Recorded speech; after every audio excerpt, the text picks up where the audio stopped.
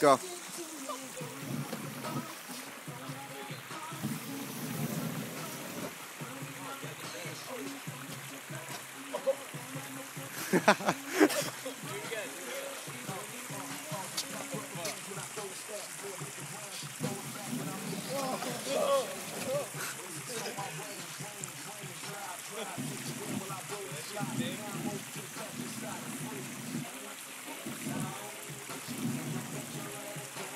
So this is David being a total idiot and playing with an Axe bottle. Peter, want to shut your mouth?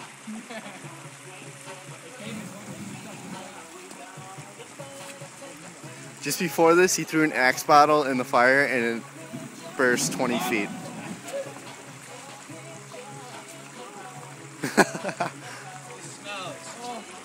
Look, you're on fire and you smell great.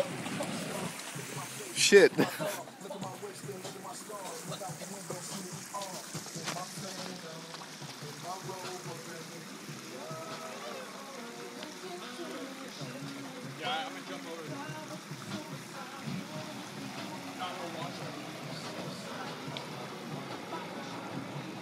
David.